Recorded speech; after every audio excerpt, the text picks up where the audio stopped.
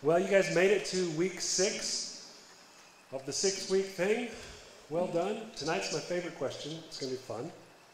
But I want to start kind of where we've started for the last six weeks because I think these verses are critical to us as Jesus followers and they're foundational for everything we've been talking about. And that is Colossians chapter 4, verses 5 through 6. It says that we are to live wisely among those who are not believers. And make every make the most of every opportunity you have with them. Let your conversation be gracious and attractive or seasoned with salt so that you will have the right response for everyone. And then 1 peter chapter 3 adds this if anyone if someone asks about your hope as a believer always be ready to explain it. So we need to be ready. But when we do, to do this in a gentle and respectful way. So, as Jesus followers, we've said this for six weeks. All of our conversations, all of our conversations at home, at work, on social media, um, with the cashier at Walmart, all our conversations should be, as Jesus followers, gracious, attractive, gentle, and respectful. It's been our, our statement for a month and a half now. So, uh, around the table talk, uh, I'm really interested in y'all's conversation tonight. Got several things to talk about. Table talk. As Jesus followers, all our conversations should be gracious, attractive, gentle, and respectful. My question to you is Is this realistic? Is this possible?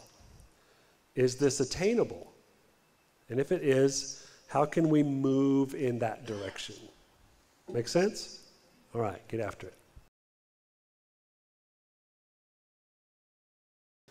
Y'all ready? Is it realistic that all of our conversations, is it possible that all of our conversations, is it attainable that all of our conversations be gracious, attractive, gentle, and respectful? Y'all say yes. all your, your whole table is nodding yes. Let's start over there. Okay. Start with the birthday boy's table, the other birthday boy, the birthday old man. Birthday boy. Why do you think that's attainable, possible, and realistic?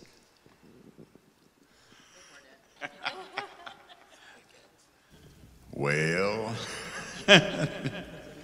that's a deep subject. It is, it is attainable, and it is possible, and it is realistic but it takes the knowledge of the word to be able to get the point across to people without, well, like I normally say, I, I'm, i have a bad habit of being blunt when it comes to things. And I think that's part of my working Tom's, environment that I used to work in. And Tom said he has a bad habit of being blunt. Can you be blunt and gracious? No? Interesting. Can you be blunt and respectful? Oh, yeah, you can. I think you can. I think you can be blunt and not be a jerk. You can be blunt and not be ungracious. Right? Yep. What do y'all say? For me, it's kind of difficult. I understand. How about this table? What do y'all come up with? Use this microphone so our YouTube folks can hear you. Thank you, Vaughn. Ephesians 4:29 through the rest of the book.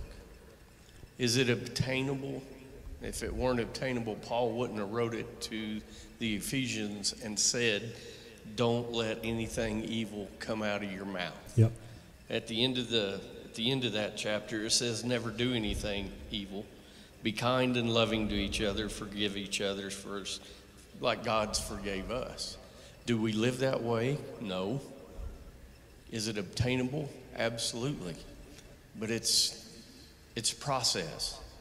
We are going to have to be consciously aware every day of the way that we speak to one another, the way that we conduct our business and and that type of thing. so the way to move towards that is to be very intentional very be intentional conscious be aware of what you say absolutely interesting ladies y'all have anything to add yeah?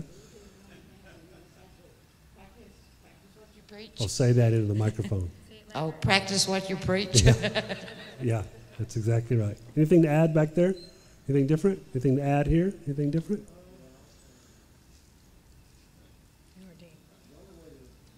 Use the mic. The only way for me to obtain it is to start off the day with God. Uh, Matthew 6:33, but seek ye first the kingdom of God. Because if I don't, then the world comes in and really gets me grumpy. Yep. It's good. Back in the back? Anything to add?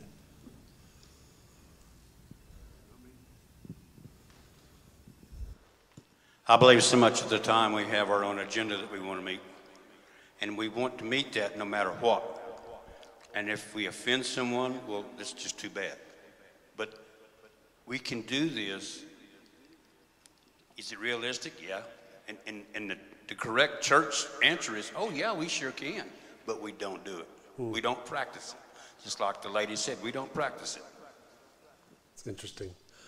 Do you think it's possible? Like there are there are times in your life, especially if you're a parent or a spouse, or just if you interact with another human being on a intimate level, there will be times when you have to speak hard words to them, right? Would you agree? I mean, if you've raised a kid, there are times when you have to speak hard words to them, difficult words. And the truth is, those words might be received as an offense, right?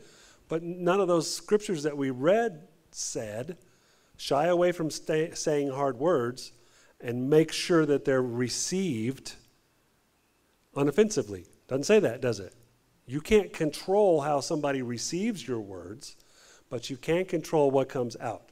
And so when the Bible asks you to do those things that we looked at, there's only one way to do what the Bible says. Do you know what it is? Through the power and presence of the Holy Spirit. That's why these things are for Jesus followers only. That's why we can't expect our neighbors who don't follow Jesus to speak to us with graciousness, attractiveness, gentleness, and respectfulness. We can't hold that, them to that standard because if they're not Jesus followers, they don't have the Spirit of Jesus working in their life to help them do the things that Jesus asks his followers to do. You cannot obey God without the presence of God. Does that make sense? You cannot do what the scriptures say without the Holy Spirit um, and his power in your life helping you overcome the old you. Make sense?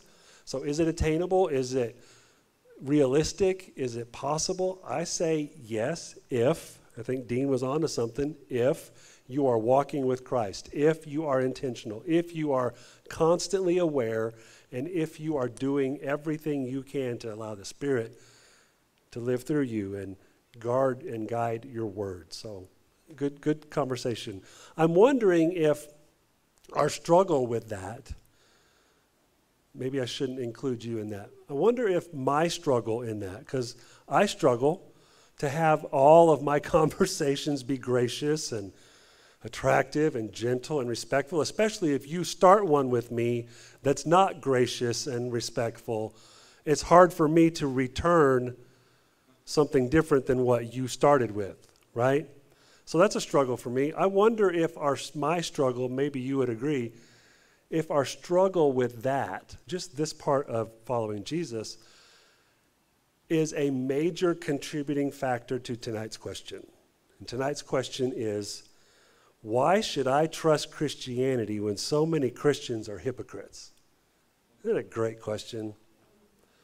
Such a good question. And the second part of it is why are Christians so judgmental toward everyone who doesn't agree with them? Just a reminder that uh, there was a huge survey done of a thousand uh, Jesus followers just a couple years ago, and they asked these Jesus followers to list in order of how much these questions scare you. What questions do you hope nobody asks you, or what questions do you feel really ill equipped to answer? The number one question was if God is so good, why is the world so bad? Or why would he allow evil? The number three question that Christians don't want to answer is why are Christians such hypocrites? and I think the reason we don't want to answer that is because we don't want to admit that we're. Oh no. Let's define it. Hypocrite is a Greek word and it literally means a mask wearer. Hypocrite is a stage direction. It was um, for the Greek plays that would happen on stage. And if you had a part where you had to wear a mask to disguise who you really were, to present something different to everybody looking at you than what you were on the inside, if you wore a mask, you were called a hypocrite. It was a stage direction. Uh, Jesus used it, we use it to define somebody who says one thing but does another thing, right? Um, there's a great uh, definition in a book called Unchristian. It says the problem is not so much that they, that's us Christians, the problem is not so much that Christians sin or fail, it's that Christians pretend they don't. They're inauthentic. They are unwilling to admit they're not really who they say they are. Hypocrites are frauds and imposters, people living a lie. If that feels harsh to you, I'm okay with that. Feels harsh to me. But when people look at us and they know that we say we follow Jesus, a lot of people know the Bible better than us, and they know we're supposed to be different. And then we don't live or speak different than anyone else, and we get labeled hypocrites. Um, Gandhi, way back in the day, listen to what Gandhi said I like your Christ, I do not like your Christians. Your Christians are so unlike your Christ. Really interesting quote. Mark Twain had an interesting quote. He said, If Christ were here, there is one thing he would not be a Christian. Golly. I don't know if you know who Lee Strobel is or Strobel.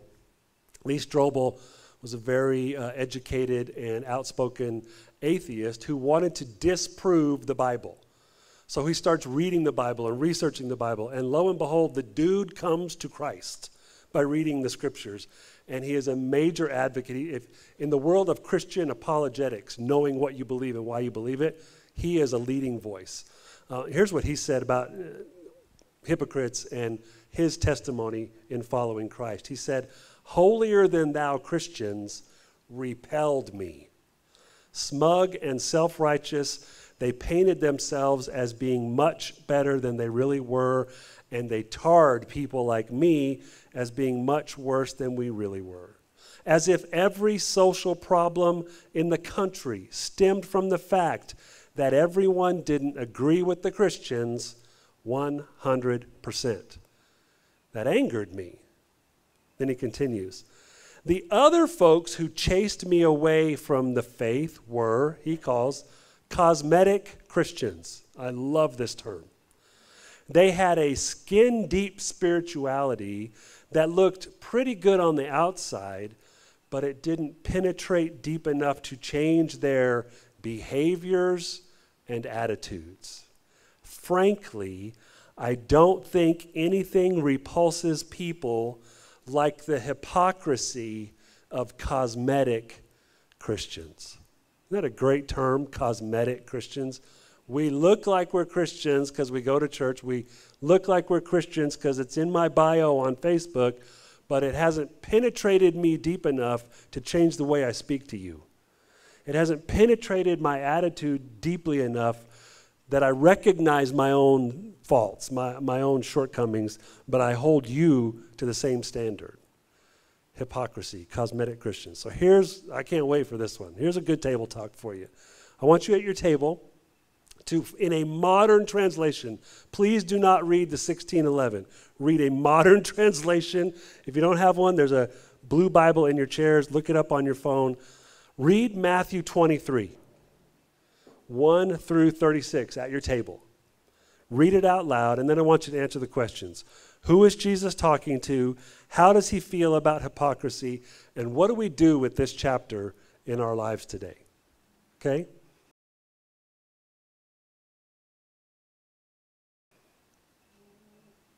Matthew 23, 1 through 36.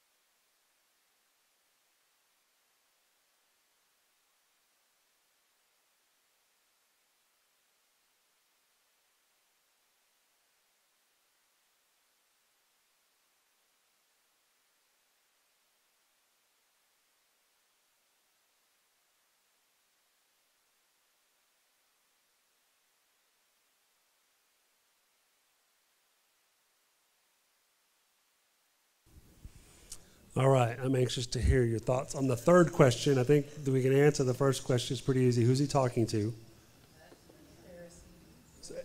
He's talking to all of us figuratively, but in that conversation, who's he talking to? The, the Pharisees, the religious leaders of his day.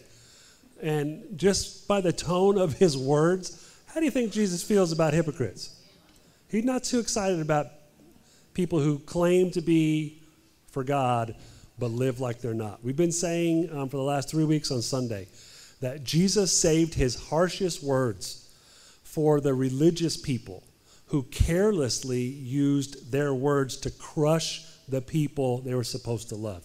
My translation said in this passage that they were literally crushing the people.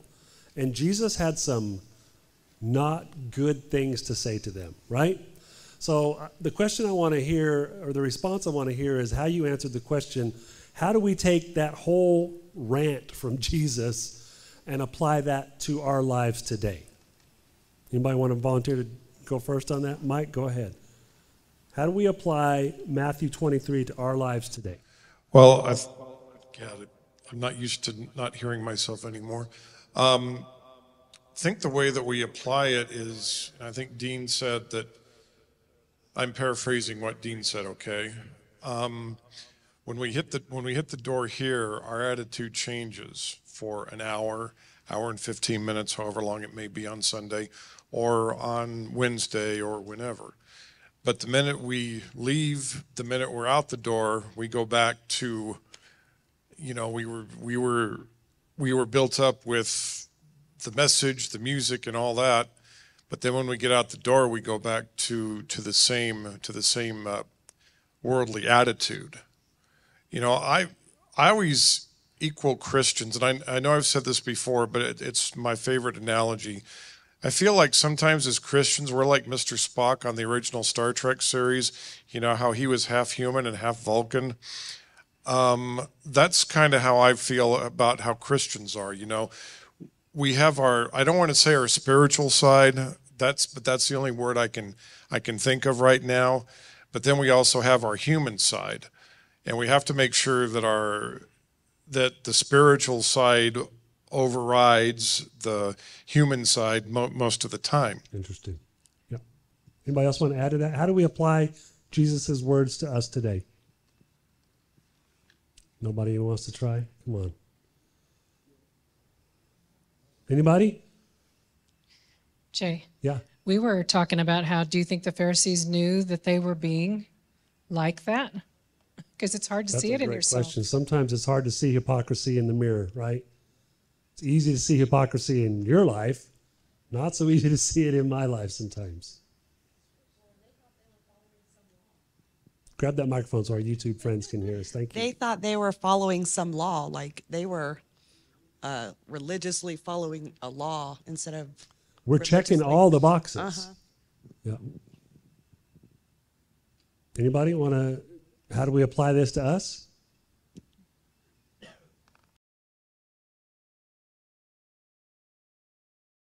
Nobody wants to answer my question.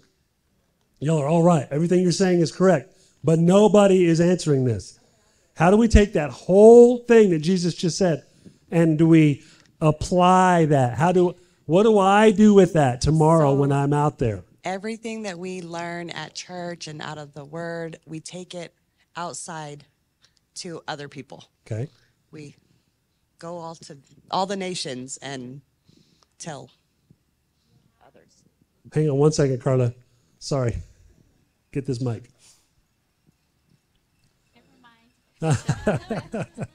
you have to present yourself humbly. You have to present yourself as a sinner.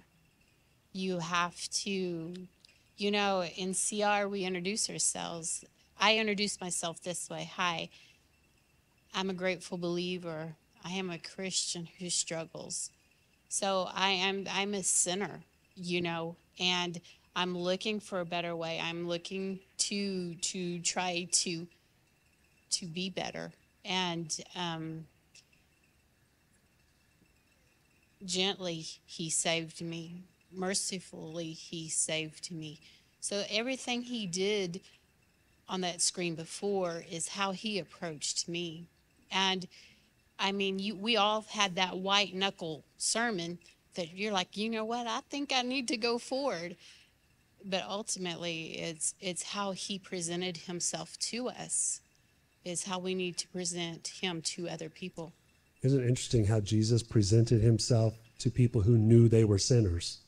He never talked to people who knew they were sinners the way he talked to people who thought they were above sin. That was the Pharisees' problem was they thought they had checked so many boxes, we've arrived. We are better than all of you. And he he called them a brood of vipers, right? What a you blind guides. The implication is that if you think being a Christian makes you better than your neighbor who's not, you you need to rethink that because it doesn't. We're going to look at that in just a second. Thank you for your word, humbly. You add something, birthday boy? Yeah, I was told a long time ago that how we act may be the only Bible that other people that observe us ever Yep. reads. It's a true statement, isn't it? You might be at work the only Bible anybody ever gets to read. Yeah. You might be the only person somebody ever sees God in. And what do they see? Great, great. All right, let's let's dive into the question. I want to give you some things to think about and talk about. When somebody, every once in a while, somebody will talk to me about hypocrites, and they're like, "Yeah, I'd come to church, but man, I know too many of your people, and they're a bunch of hypocrites." Or, "Man, the hypocrites are the reason I left the church." And I always kind of steer that to Matthew 23. I always say, "Man, you know what? You know who really agrees with you about hypocrites? You know who really has a bad taste in their mouth about hypocrites? Who? Jesus. He hates hypocrites. Maybe you and Jesus have more in common than you think. And it instantly shuts them down and it opens a conversation. Really? Jesus hates hypocrites? Yeah, you should see the language the dude used to talk about hypocrites. So, yeah, I think you and Jesus have a lot in common. Maybe you have more in common than you're aware of. So it's a it's a conversation stopper and opener at the same time to point hypocrites back to Jesus. And that's how I want to answer this question. The, the question is why should I trust in Christianity when so many Christians are hypocrites? I want to quote Dr. Akbar Abdul-Haqq, who sounds like he's Muslim, but he's a Christian, and he says, I'm not offering you Christians, I'm offering you Christ. Isn't that a great statement? Listen, you're looking at Christians, but you're missing Christ. Now, that's not an excuse, but it's a helpful statement to say, listen, this conversation we're having about Jesus, I'm not offering you Jesus followers. You don't have to you don't have to look like them or talk like them or believe what they say. What I'm offering you is Jesus. You should check out his claims. You should see what he did. Now, the rest of us were just kind of struggling to figure it out. So don't look at me, look at Jesus. Um, and so I would say to you, if you have this conversation with someone, just own it. Just own it that we are, Christians are a big, giant group of hypocrites. And if that makes you angry, I'm sorry, but it's true. You have not arrived. You have not checked enough boxes. You have not done enough things. If you're still here, God is still working on you. And so, if you would just own the fact and say, you know what, you're right. My church is full of hypocrites. And I usually say, the worst hypocrite is the guy that preaches every Sunday. He's the worst one I know. You feel free to say that because it's true. Just own it. Don't get defensive. No, we're not. Don't get defensive. Just own it. Yeah, you're probably right. We probably are a bunch of hypocrites. Um, we like to hide behind this statement, and it's a true statement, but we can't use it as an excuse. Well, I'm not perfect. I'm just forgiven. It's a great bumper sticker. It's a great thing to hang in driftwood on your wall. Um, and it's true. I'm not perfect, but I am forgiven. But we can use that as an excuse to just keep on being imperfect, to just keep on having the same attitude that they're already struggling with, to just keep on saying the same things that is getting us branded hypocrites. So let's not hide behind that. Here's my counterpoint to that. Yes, we are forgiven by God's grace, but that grace gives us a responsibility to live like we're forgiven, to live forgiven, to live a life that's different. We are called to follow and obey Christ by turning away from the sin that he's forgiven us for. Does that make sense? Jesus, uh, in almost every encounter he had with a sinful person, at some point in the conversation, he would say to them, Go home and stop sinning. Go and sin no more. And he wasn't saying, Go live a perfect life. That was not what he said. He said, Your life is ruled by sin right now. Let it be ruled by me. That make sense? We have to own that. Colossians chapter 3, here's how you own it. As God's chosen people, holy, dearly loved, here's what you should do every morning when you wake up put on these clothes. Dress yourselves, clothe yourselves in compassion, kindness, humility, gentleness, patience. I think, Carla, you would say that's how Jesus approached you with that list. Accurate? We are called to be like Jesus, right? Imagine if Jesus followers, before we went to work, before we signed on to, before we sent the text, we said, you know what, I need to put on some new clothes before I speak or interact with this person, and the clothes are going to look like compassion.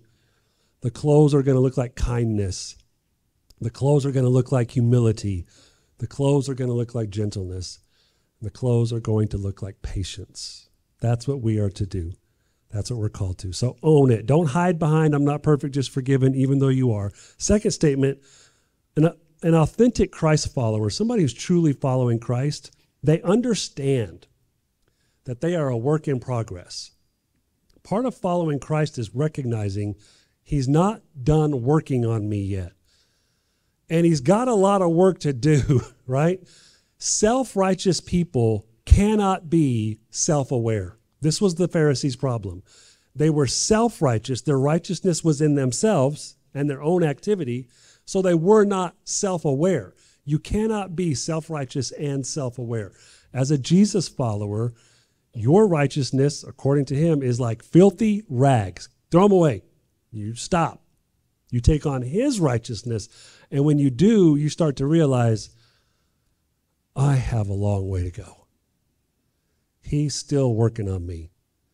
And he's going to be working on me next week and the week after. And I'm not going to be 10 years from now the person I am now because I'm going to allow God to continue that work in me. This is what Paul said. Being confident of this, that he who began a good work in you, when salvation entered your life, Jesus began a good work on you. He didn't finish it, did he? Like you didn't instantly, when you got saved, you weren't instantly free of struggles and doubt and temptation. You just weren't. You still struggle with some of these things. We all do. And Paul is saying he started the work of salvation in you and he's going to carry it on to completion until when? Until Jesus comes back. So if you're still here and Jesus isn't back, God's still working on you, right? Either Jesus comes back and then he's done working on you, or you go to Jesus and then he's done working on you.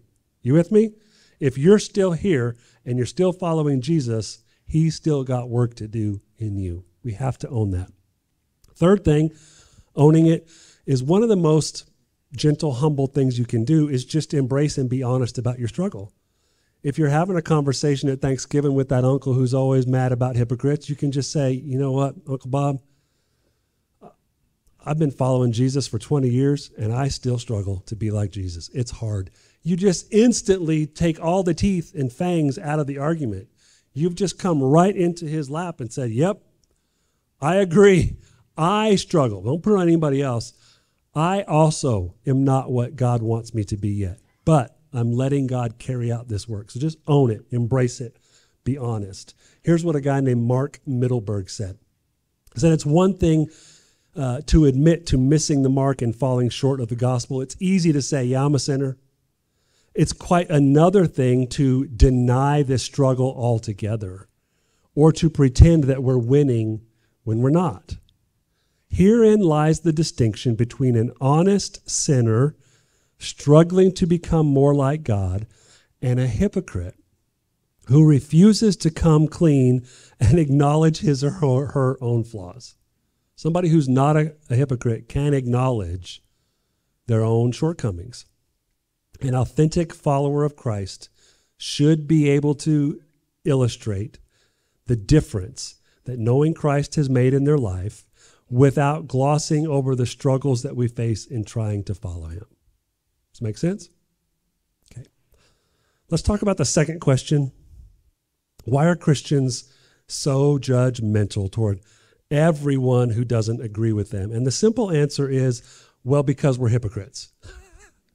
but we need to break that down a little bit. So I have just a, a quick table talk for you and then just a few things, and we're going to be done. So here's the table talk Is it possible to be 100% convinced that you're right and be humble, gentle, respectful to anyone who disagrees with you? And don't just say yes, explain why.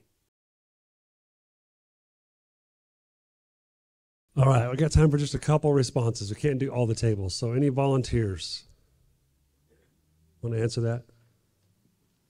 Dean wants to answer that. You got 35 seconds. Go. This is my opinion, but it's not possible to be 100% convinced you're right and be humble, gentle, respectful to anyone who disagrees with you because when you're 100% convinced you're right, there's that element of pride. And that's just the opposite of being humble. Interesting. Interesting perspective. And Jesus resists the proud. So James says he opposes the proud. He's There you stands in opposition. Anybody else want to answer that? That's an interesting perspective. Any any differing opinions? We had a different Okay. opinion because we said it, it makes it hard to be humble, gentle, respectful because we know what we believe is right. So that's what makes it hard, but it is possible to be both. Um, kind of depends on who it is in your relationship that you're talking to because some people are very disagreeable. Yep. And, you know, a close relationship or something, it's harder. Anybody else want to answer? Hang on one second. I know, but our YouTube people love to hear what we have to say. just the way the question is worded, it's not asking us to change. We're we're not being asked to change them. They're they're in disagreement with them. They can disagree with us. We know Jesus is right, but we can still be humble, gentle, and respectful so in the disagreement. I'm 100% convinced that Jesus is the Son of God and the Savior of the world. Exactly. But I don't have to be a big jerk about it No. to people who don't think that. Yeah. I love it. It's a great perspective. Let me let me just give you some some scriptures here. One of my favorite scriptures is John 3 17. I love John 3 16. Everybody knows it, but listen to John 3 17. This is Jesus talking. God sent his son into the world not to judge the world, but to save the world. Not to judge the world, but to save the world. That scripture is on some little posters on, on both of our entryways there. And then Matthew 7, Jesus speaking again, he said, Do not judge others, and you will not be judged. Right? But then in John chapter 7, verse 24, still Jesus speaking, listen to what he says. Stop judging by mere appearances, but instead judge correctly. Hang on. Anybody else catch some inconsistencies here? Okay. When we say, and we say it every week, you're in a judgment free zone. I believe that 100%. We ought to be a judgment free zone. But here's Jesus saying, well, stop judging by mere appearances, but judge correctly. What in the world? So we're supposed to judge. We're not supposed to judge because he said in 7 1 of Matthew, don't judge. But then in John 7, he said, judge correctly. So which one is it, Jesus? Hang on. Hang on. Let me give you Don't show him yet, Dusty. Jesus is speaking Greek, okay? Jesus is speaking the Greek language, and we are translating it from Greek into English, and our word is judge. And we all have an idea of what that means, right? We all kind of filter that word through our own experiences and our own understanding and just our own background. It's very, very specific how Jesus was using those words. It's the same word. To judge means to condemn, or to judge means to exercise discernment. And that is two very different things, isn't it? When I say you're in a judgment free zone, what I'm saying is no one here condemns you. Does that make sense? But you better believe that if you come to us and say, hey, I want to sing a solo next Sunday, we're going to judge you. We're going to use some discernment to say, why does this person want to do this? And can they do this? Does that make sense? If you come up to me on Sunday and say, I want to give a testimony next week, you know what I'm going to do? I'm going to judge you. I'm not going to condemn you. I would never do that. But I am going to exercise some discernment. Okay, why does Joe Bob want to give a testimony this Sunday? What's going on? Does that make sense? Discernment, using wisdom. Now, when Jesus says, do not judge or you will be judged, guess which one he's using? Do not condemn or you will be condemned. In fact, I think I, yeah, I, gave you these in literal translation. John 7 24. Stop judging or condemning by mere appearances. In other words, stop condemning people just because of the way they look or because of who they vote for, or because of the color of their skin, or because of where they go or don't go to church. Stop looking at somebody and condemning them. Instead, exercise discernment over them. See life through their eyes.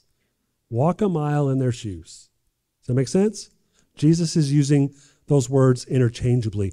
Uh, John 3:17, God sent his son into the world not to condemn the world, but to save the world through him. And then in Matthew 7 1, when Jesus is speaking, he said, Do not condemn others, and then you will not be condemned. Make sense? Okay, we have to know the difference there. I love this thought. I want to close with this thought. As followers of Jesus, we're not smarter than other people. We're not better than other people. We're not more worthy than other people. We are just blessed to have been given the gift of salvation through Jesus, and we accepted the gift. It doesn't make you better than anybody. It just gives you a home in heaven and a Savior to walk through life with you. I love the man who said, All I am is one beggar telling other beggars where to find bread. Isn't that beautiful? So much humility there. I'm a sinner just like you, but I found somebody who saved me. That's all I am, is saved. All right. Next week. Anybody know what next week is? Worship night. Worship night. 6:30 right in here. It's going to be a great night. Don't miss it. It's going to be super super fun. I think impactful and meaningful to your life too. And then next semester starts 2 weeks from tonight. It's October 9th, and we are going to look at seven archaeological finds that every Christian sh- should know. There are seven really, really big specific things that you as a Jesus follower should know because it will impact and help you um, defend your faith and why you believe what you believe. Okay? All right, let's pray together.